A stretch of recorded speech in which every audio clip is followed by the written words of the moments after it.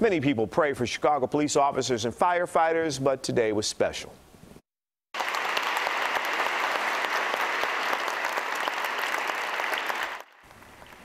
Parishioners applauded for officers and firefighters at St. Stanislaus Kostka Catholic Church. Many wore their uniforms to what's called the Blue Mass. It's held in honor of St. Michael, who is the patron saint of police officers. All active and retired officers and firefighters were invited to attend. Dozens of people were feasting on pancakes today in support of Chicago police. They attended the Get Behind the Vest pancake breakfast. The money goes to the Chicago Police Memorial Foundation to replace bulletproof vests for officers. Vests need to be replaced every five years at a cost of $500 each.